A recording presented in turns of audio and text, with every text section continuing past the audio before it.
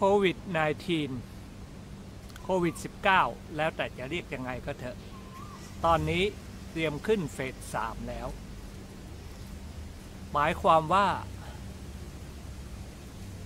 เพื่อนๆ ควรกักตุนอาหาร และของใช้ที่จำเป็น ก่อนที่เขาจะประกาศเป็นทางการว่าคือเฟสสามไม่งั้นตอนนั้นอาจจะ ได้ไม่ครบตามต้องการ คือรัฐบาลเรานี่ความน่าเชื่อถือสูงมาก ที่แถลงแถลงมาเนี่ยผมไม่เชื่อหรอกมันมีมากกว่านั้น ความจริงมันเยอะกว่านั้น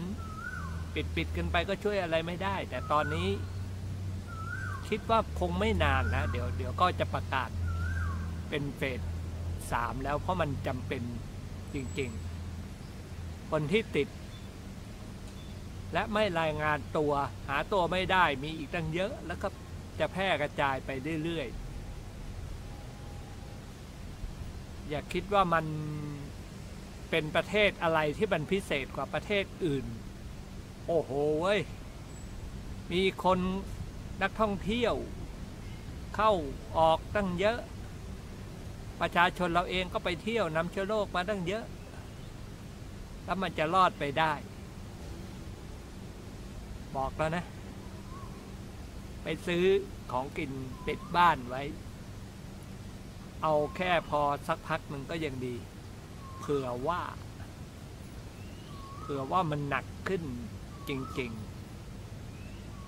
ไอ้สิบเอ็ดคนในผับเนี่ยมันก็ไม่รู้มันติดไปถึงใกล้ไอ้ใกล้ ๆ บ้างหรือเปล่า แต่ว่ามันมีอีกเยอะแยะที่เป็นกลุ่มๆอย่างเงี้ย กลุ่มทัวร์กลุ่มอะไรโรงเรียนโรงเรียนนานาชาติ ที่เพิ่งมีผลไป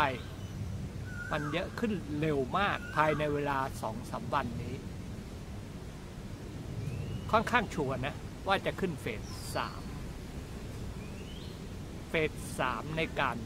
กักกัน ในการควอรันตี